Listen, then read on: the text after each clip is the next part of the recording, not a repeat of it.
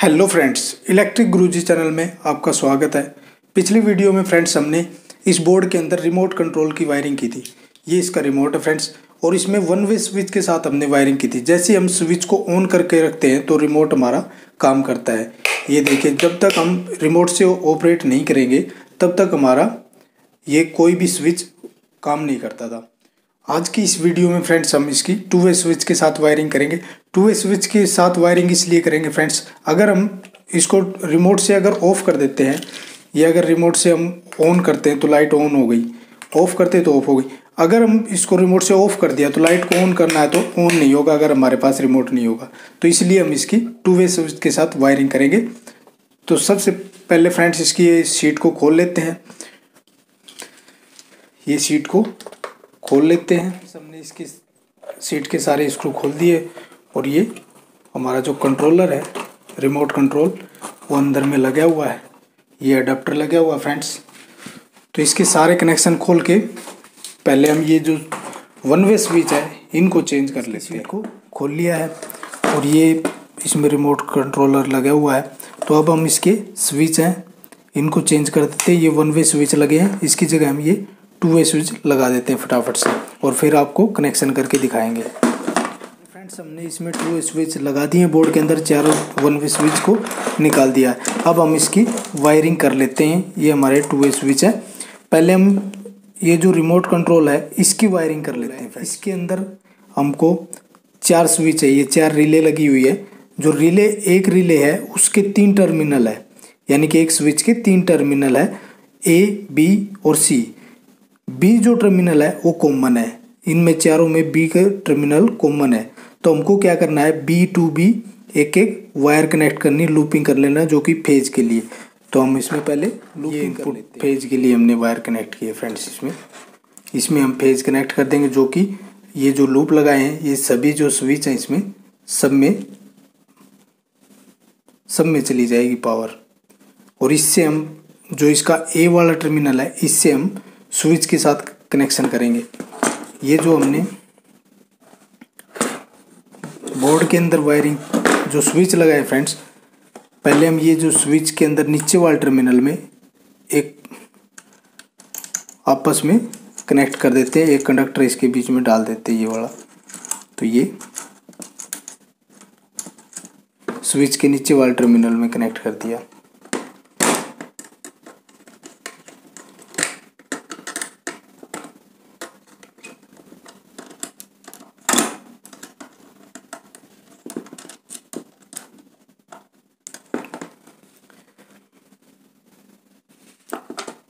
और ये जो फ्यूज से जो फ़ेज़ वाली वायर आई है फ्रेंड्स ये हमको इस कंडक्टर के साथ कनेक्ट कर देंगे ताकि सब में पावर चली जाए। तो यहाँ इसको कनेक्ट कर देना है।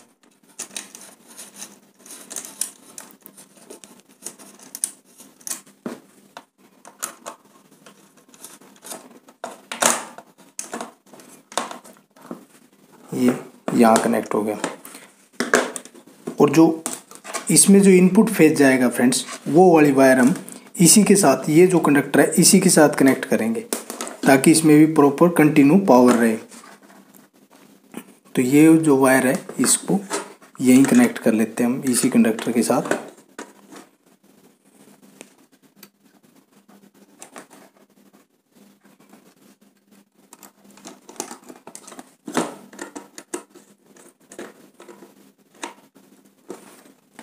ये वाली वायर हमने यहाँ इनपुट फ़ेज़ में कनेक्ट करनी है, जो कि फ्यूज से हमारा जो फ़ेज़ आया है, वो जो टू वे स्विच है, उसके नीचे वाले कंडक्टर में हमने कनेक्ट किया है और उसी से हमने ये रिमोट कंट्रोल के इनपुट में जो फ़ेज़ जाएगा, वो वाली वायर कनेक्ट कर दी है।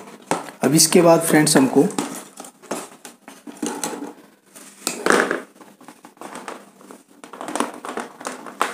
ये जो रिमोट कंट्रोल है, उसकी जो ए टर्मिनल है, ये ए वाला जो टर्मिनल है, उसमें वायर कनेक्ट करनी है।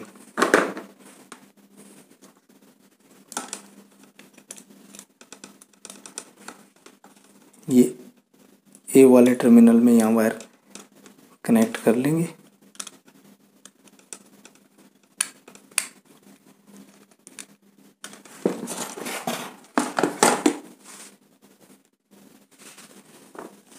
ऐसे ही फिर अगले स्विच का।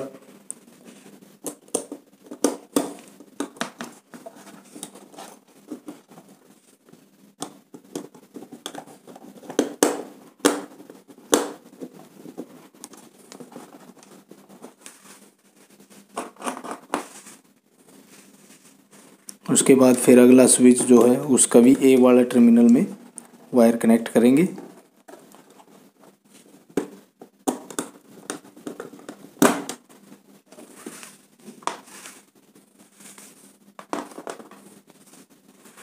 फिर ये चार नंबर जो स्विच है इसका भी ए वाले टर्मिनल में।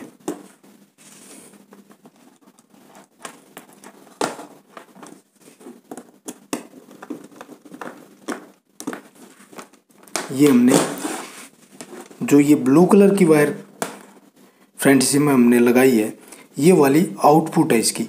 वाइट कलर की वायर है, वो इनपुट है, यानी कि जो पावर आएगी, और इससे जो ब्लू कलर की जो वायर है उससे आउटपुट होगी।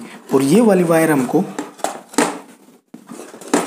फ्रेंड्स जो हमारा टू वे स्विच है, ये जो टू वे स्विच है, इसके ऊपर वाले टर्मिनल में कनेक्ट करना। जैसे कि हमारी ये ट्यूबलाइट का स्विच है, हम जो इसको ट्यूबलाइट में यूज़ करेंगे तो ये वाला, इसका जो आउटपुट वाली जो ब्लू कलर की वायर कनेक्ट की है, वो वाली हम ऊपर वाले टर्मिनल में, ये जो तीन टर्मिनल है टू वे स्विच में इसके ऊपर वाले टर्मिनल में कनेक्ट करेंगे। ये ऊपर वाले में यहाँ कनेक्ट कर देंगे।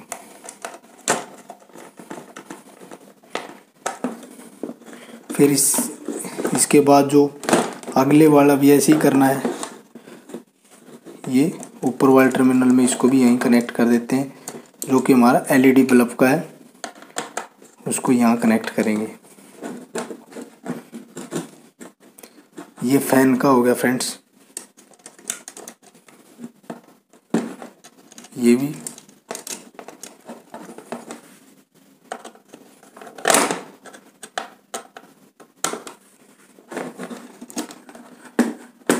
और ये सॉकेट वाला।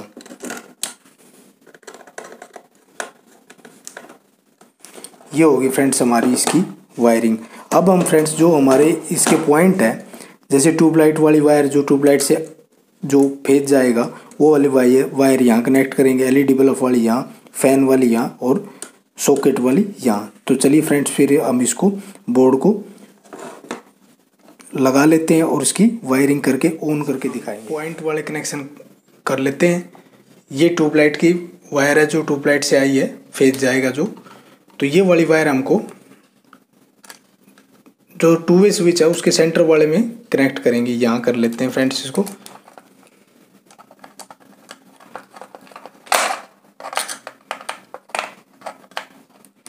उसके बाद ये एलईडी बल्ब की है तो ये वाली इससे आगे वाले स्विच में कनेक्ट करेंगे। ये यहाँ इसको लगा देते हैं।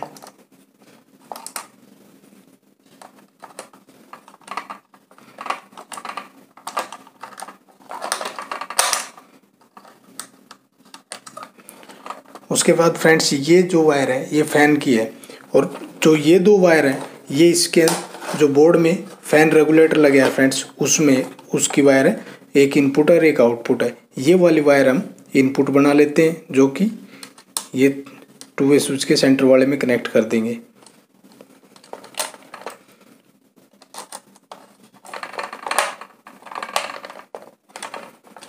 और इसको हम फ़ैन रेगुलेटर वाली जो आउटपुट है उसको हम फ़ैन वाली के साथ यहाँ कनेक्ट कर देंगे फ्रेंड्स हमारी ये कंप्लीट वायरिंग फ्रेंड्स हो चुकी है।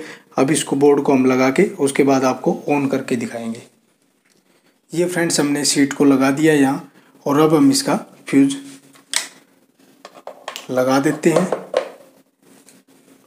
ये पावर आ चुकी है फ्रेंड्स इसमें और जैसे फ्रेंड्स इसका अभी ये स्विच सारे ऑफ़ है तो अभी जो हम ट्यूबलाइट या एलईडी बल्ब, फ़ैन, कोई भी चीज़ को अगर ऑन करना होगा तो हमको ये जो रिमोट है, उससे हम ऑन कर सकते हैं।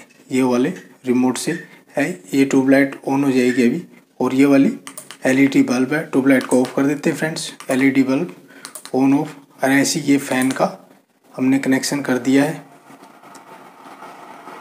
और ये ये जो डी है, ये सॉकेट का है। तो फ़ैन को बंद कर देते हैं। एलईडी बल्ब को बंद कर देते फ्रेंड्स और ये ट्यूबलाइट हमारी ऑन ऑफ़ इससे होगी। और जैसे ही हमारे पास रिमोट नहीं रहेगा तो हम ये स्विच से भी ऑन कर सकते फ्रेंड्स ये ऑन हो गया स्विच से। और ये वाला, ये देखिए फ्रेंड्स ये अभी चारों चीज़ें हमारी स्विच से भी काम करेगी और रिमोट से भी। जैसे स्विच ऑफ़ होंगे तो हमारा रिमोट वर्क काम करेगा और स्विच को ऑन करेंगे, उस टाइम हमारा ये स्विच के थ्रू चलेगा। ओके फ्रेंड्स आज की वीडियो में बस इतना है। अगर हमारी वीडियो आपको अच्छी लगी वीडियो को लाइक करें शेयर करें और चैनल को सब्सक्राइब करना ना भूलें।